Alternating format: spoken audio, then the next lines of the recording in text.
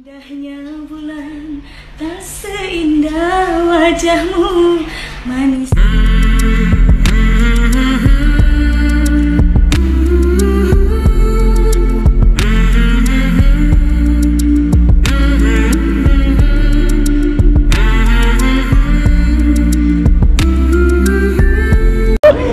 ngonten everywhere Assalamualaikum, saya Lesti untuk teman-teman semuanya Jangan lupa like, comment, and subscribe.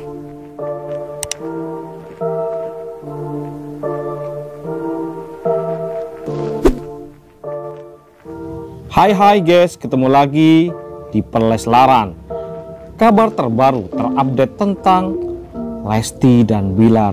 Tentu kalian selalu penasaran dan menunggu-nunggu Kabar bagaimana idola dan kesayangan kita ini Lesti dan Bilar yang selalu mencuri perhatian kita semua. Kiss Award 2020 malam pertama malam hari ini begitu mendebarkan apalagi saat Rizky Bilar memenangkan nominasi hobi terkis yang menariknya. Dia ada pilihan. Yang itu diacak yakni Vanas atau Lambe Kiss ternyata Rizky Bilar harus berbicara dengan Lambe Kiss ya hal yang menegangkan membuat Lesti juga tegang Begitupun Rizky Bilar yang semakin tegang bagaimana tidak.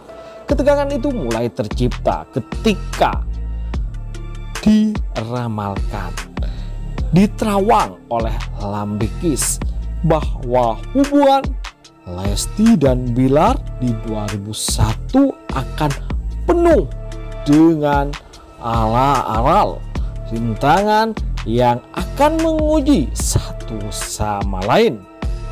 Dan yang paling mendebarkan yang dirasakan oleh keduanya saat Lambekis menyampaikan bahwa Rizky Bilar dan Lesti akan diuji dengan orang ketiga. Tentu saja hal itu membuat Bilar kaget. Ya, bagaimana tidak dia pernah merasakan pedihnya ditelikung dan ditikung. Hal serupa juga dirasakan oleh si Dede Lesti. Dia memang sempat tertawa tetapi dia pun merasa ada yang mengganjal sang pasangannya itu yakni Rizky Bilar ketika dia khawatir juga kekasihnya yang tampan itu tiba-tiba akan diambil oleh orang ketiga.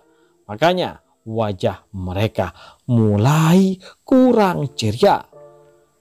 Ya, sungguh mendebarkan sehingga akhirnya Rizky Bilar meminta si Dedek Lesti mendampinginya di saat dia mulai khawatir, takut akan sang kekasih nantinya diambil orang karena nyatanya pihak orang ketika tersebut akan mengincar si Dedi Lesti menjadi pasangannya dengan berbagai daya upaya. Lalu bagaimanakah hal tersebut? Tentu hal itu juga membuat keseruan dan kekiutan di malam hari ini ketika bagaimana mereka ditanya mengantisipasi, mengatasi andainya masalah tersebut terjadi dan ada orang yang ketiga itu tuh yang langsung ditanya oleh Ramzi yang julid tentunya guys. Ya hal itulah yang menjadikan keduanya akhirnya keceplosan mengungkapkan apa yang sebenarnya terjadi dan apa yang sudah mereka jalani selama ini. Termasuk si Dedek Lesti akhirnya mengungkapkan bahwa Bilar sudah berkomitmen dengan dirinya artinya Lesti dan Bilar sudah punya komitmen dan yang paling mengejutkan lagi ternyata Rizky Bilar sudah mendatangi orang tua Lesti dan Bilar. Artinya Rizky Bilar telah melamar Lesti. Apakah demikian? Ya, tentu hal itu adalah hal yang sangat mengejutkan guys. Bagaimana tidak tidak mengejutkan? Selama itu, selama ini mereka berdua menyimpan rapat rapat hal tersebut. Namun nyatanya di malam hari ini menjadikan kita cute di tengah banyaknya kekiutan dari kemarin. Kita akhirnya mabok, terguling-guling, jingkrak-jingkrak, tertawa-tawa sendiri, senang-senang sendiri, ada yang sampai menangis haru mengetahui mereka di malam hari ini juga mengungkap hal yang tak pernah dieksplor hal yang tak pernah disampaikan sebelumnya bahwa Dedek Lesti mengungkapkan Bang Bi sudah menemui orang tuanya. Apakah benar si Bang Bi sudah melamar sang kekasih ini? Terbukti bahwa sekarang Lesti Kejora sudah tak sungkan lagi menunjukkan cincin di jari manisnya. Malah Sebelum acara ini dimulai secara gamblang, Dede Lesti dan Bilar sudah menunjukkan jarinya yang itu di sana terlihat cincin Bang Bi melingkar di jari manis Dede Lesti. Tentu dengan hal ini menandakan bahwa keduanya Lesti dan Bilar sudah sepaham, mereka sudah sepakat, sudah berkomitmen di tahun 2021.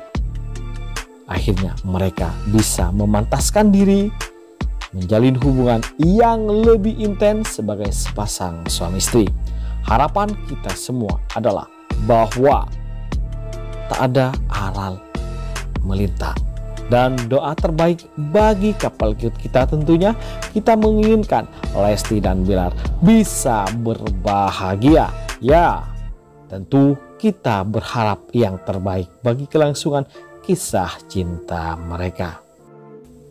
Oke, itu saja kabar terbaru terupdate di malam hari ini di saat mereka harus diuji di ramalan Lambikis. Tentu kita doakan yang terbaik dan support yang terbaik bagi hubungan Lesti dan Bilar.